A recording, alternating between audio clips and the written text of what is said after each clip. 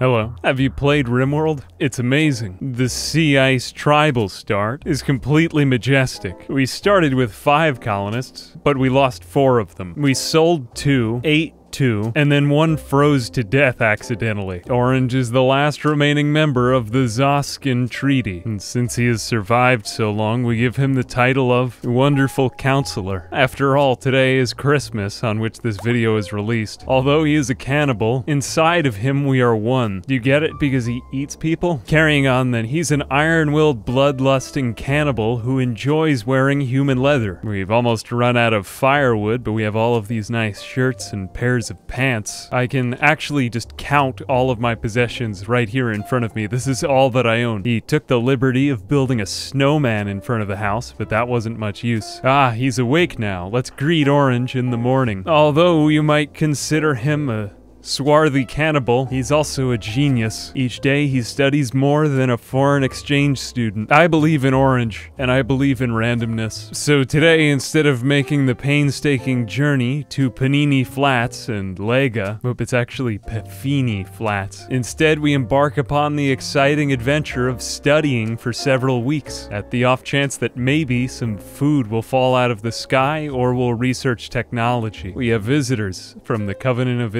Ithwalia. Ah, they have a few items to trade. Good thing we didn't embark on that journey. Salutations, visitors. Uh, This guy named Paolo has an adulthood of being a dreaded dude. He was a dreaded baby as well. He's founded a crashed spaceship. According to the ship's records, he invented the nuclear device that powered his ship.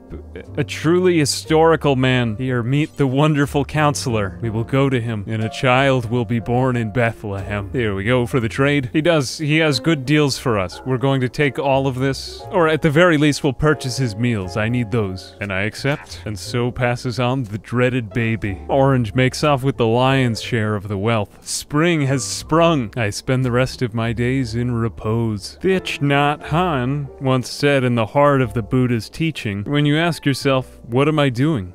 It'll help you overcome the habit of wanting to complete things quickly, like studying, for example. So instead, smile to yourself and say, Studying is the most important job in my life. And so pass many weeks of hard work, toil, and labor.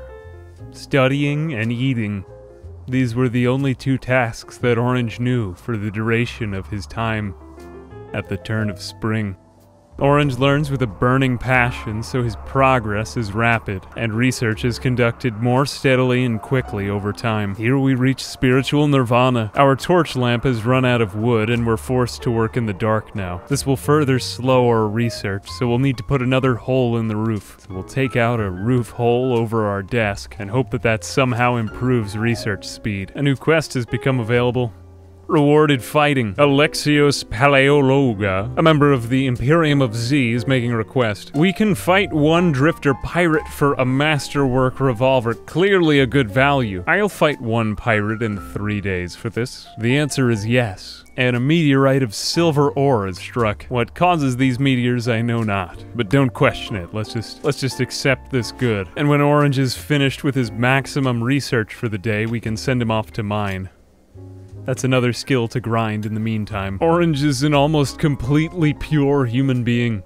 Soothed by the astrological blessings from on high, he eats nothing but humans, for this shall become the body and blood. And how he labors, how he labors, making steady gains in knowledge, clawing the riches and wealth from the earth. And huzzah! Another level has been achieved the rapidity of research. The gains, we've now dwindled down to merely six more meals, but we know that one more is on the way with a raider. A definite meal, if not several. And here he comes now. Should be one guy.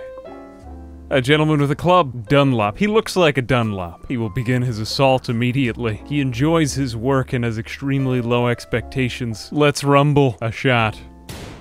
Another. I, I think that might have actually done it. He's uh, now at moving 61. We can just start to kite him. Unless if we kill him immediately. Orange has truly improved. 52. Wow. Amazing. And a meal and a club.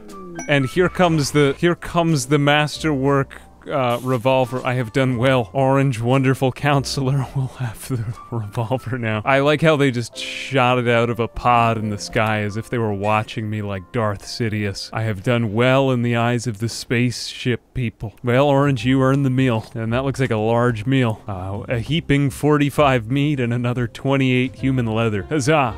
Victory. There will be nothing like electricity when we have it. Level 11. A transport pod crash. A warrior named Ra is crashing. Not affiliated with any faction. He is absolutely horrible. Well, you know the drill. If nothing else, later on it means some clothes, money, food, and scrap metal. The saving grace is that everyone just happens to land from transport pods on this part of the planet. That's the entire fact that makes this challenge work. Oh, sorry, Ra. I never said we were the friendliest colony. I never said that I had any medical experience either, but I'm sure that underneath the light of the skylight, I can obtain some quality experience with your operation. There we are, just... Oh, we didn't remove the roof yet. Well, let's see how this works. And I doubt I'll get it, but surgery failed. Alright, it's not really worth the time. You can just. Uh, I am sorry. At least he's sedated. Uh, and now the hypothermia will get the best of him, too.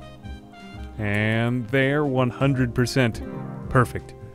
He didn't feel a thing, and we'll rebuild that roof for a moment. Nothing to see here. Time and time again, the hunger returns. And if nothing else, this made him more than an amateur doctor, I must say. You and I truly have shared on a journey that has been a myriad of wonderment. The acquisition of new knowledge truly is a pilgrimage of the mind. And we're being raided again. Why would they? Time and time again, I do not understand. Why would anyone come to the Arctic to fight me? Now, this gentleman Kamado, uh, this woman named Kamado is actually quite good. However, the Masterwork revolver curiously has 100% accuracy within 12 cells. This means we're guaranteed up close shots. If nothing else, it just bespeaks the power of Masterwork and legendary items in RimWorld. Although never apparent by sprites, they are in fact good. I'm going to stand here by the door because if it doesn't work at first, we'll need to Oh, I don't even need a backup plan. That was just great. Unfortunately, she died immediately. That's why they call me Wonderful Counselor. I was hoping I would have an opportunity to explain the weapon statistics to you. I really am a geek. That so ends the life of the depressive brawler Saba Komato. Komato. That's food, and even more food. Along comes more food. An opportunity. And this one's going down too. Uh, now he gets 100% accuracy at this range.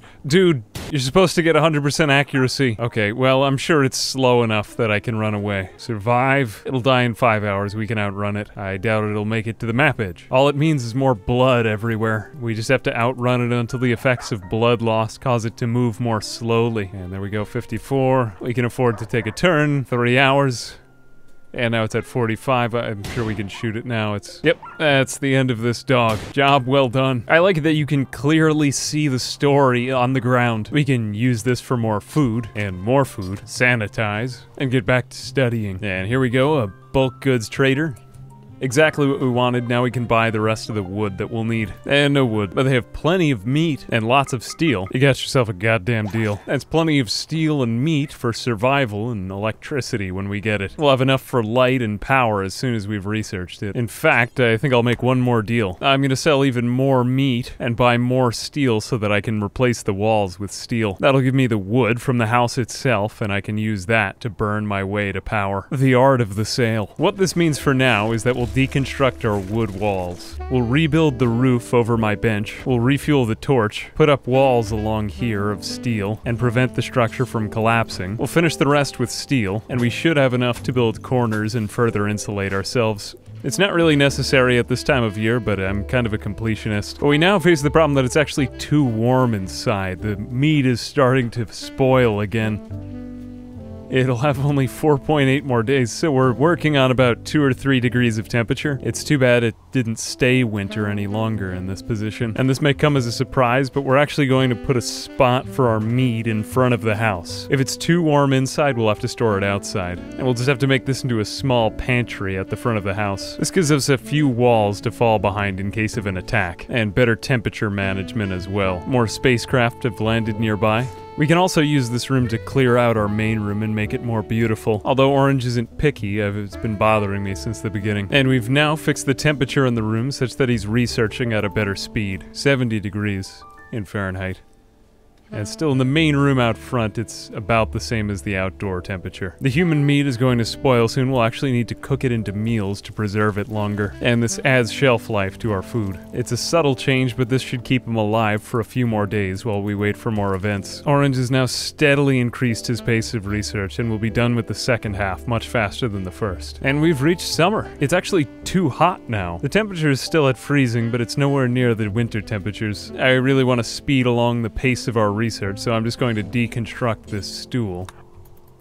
And maybe use that for more firewood. There we have it now. We're nearing the end of these meals, but research couldn't be better. An Arctic fox makes another fine meal for Orange, as the temperatures are actually becoming too hot to maintain food. That's another kill. But now, having reached level 12, Orange deals with the sad reality of being better than everyone at something. Every moment that he doesn't spend researching, he will get worse at it, and he needs to be constantly glued to a table in order to make any progress. A feeling I am told only very high level Christians experience at some point during their careers. We have a visitor. She has a few items to trade perhaps some food. Ironically, we become the hungriest in the summer. Ah, the perfect food source. Pemmican. We'll take all that she's got. While I'd like to keep it, this revolver just isn't worth it anymore, and I can sell her the rest of my weapons. Beyond this, I'll need to sell her one of my parkas. While it's a very good parka, I just need the food more. It's risky not to take it, and will accept. And a new quest, the hares in Hudson. Chased by a pack of two man-hunting hares. Join me, Hudson. And Hudson is joining us. Let's check him out. A tough man with a chemical fascination. And the manhunter pack of rabbits now. Ah, uh, okay. I think this will go extremely well. And here we begin with the hares.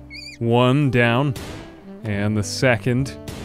Two shots and shouldn't take any more. This one should be, that was supposed to be a guaranteed hit. Okay, we need to run. Hopefully I won't be bit by the hare.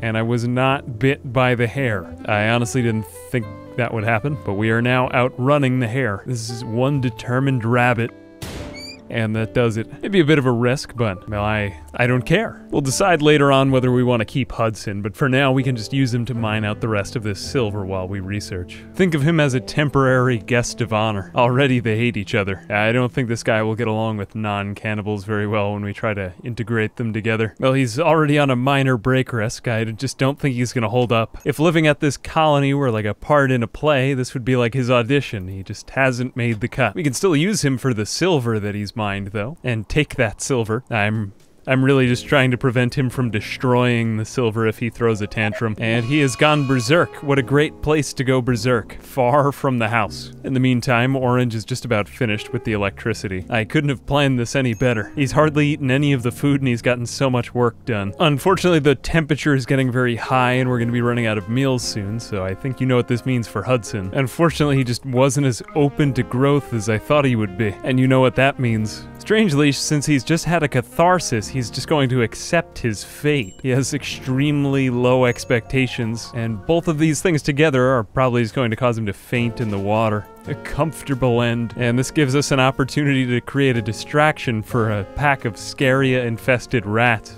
roaming through the region. The uh, two, to be exact. Fortunately, we can use him for cover while the, uh, while the rats glance us innocuously. Here we are, just at, at Orange's max range. We'll run Hudson back and forth in case if they do, uh, in case if they do get too close.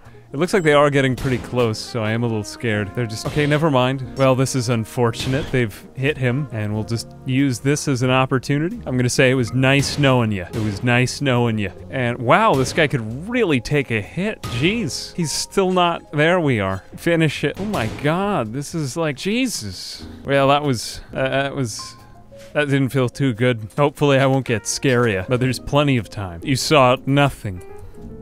You saw nothing. One truly is the loneliest number that you'll ever do, and I anticipate a reality when Orange has light and friends. And at long last, we have enough for electricity. Obviously, the first thing we'll want is a battery, but we'll get to work on this right away. Ah, so many more options now than before. I'm thinking the only thing that we really have is wind, so we'll go with that. It may not be sustainable or reliable, but really all that we've got out here. We'll give this one a little bit of space from our base, but not too much. We'll need room for further building, but we can always change our minds later.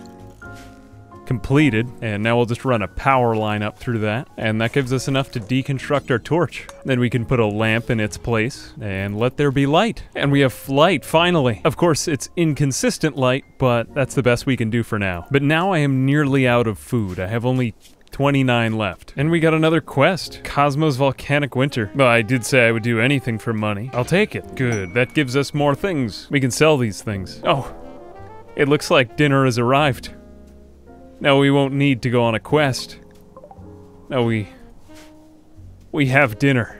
This guy isn't very good, but They'll make a good meal. Man, all of these meals keep arriving. Well, this is, after all, why we played this character. What an absolute relief. I thought that was the end. Three, okay, he's whiffing now. Four, shot only in the right shoulder, though. We need another, and another, good. Torso, right arm, the right lung, he, ooh, he destroyed his right lung. That's all you need to do. Well done, Orange. Okay, let's have another one of those blood trails.